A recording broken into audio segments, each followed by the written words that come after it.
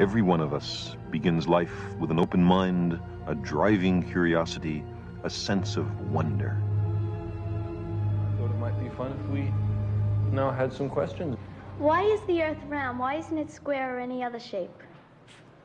That's a good question. I like that question. That's a question I've, I've asked myself. And the answer has to do with gravity. The Earth has a strong gravity. If you were to make a mountain very high, higher than Everest, you know, it's the biggest mountain on the Earth, it would be crushed by its own weight. You see, gravity pulls everything towards the center. So any really big bump on the Earth is crushed. But if you had a small object, a tiny world, the gravity is very low, and then it can be very different from a sphere. I think I have here a world that isn't a sphere. Here. Look at this one. See? It's lumpy. It's a lumpy world.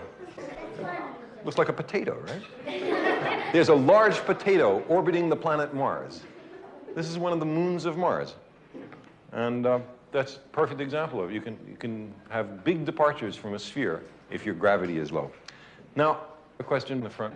Okay. Is the sun considered part of the Milky Way galaxy? Sure. You're considered part of the Milky Way galaxy. Everything except other galaxies is part of the Milky Way galaxy. The sun is one star.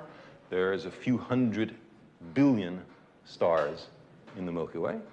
And around each star, maybe, it's a whole bunch of planets. And uh, on one of those planets is life.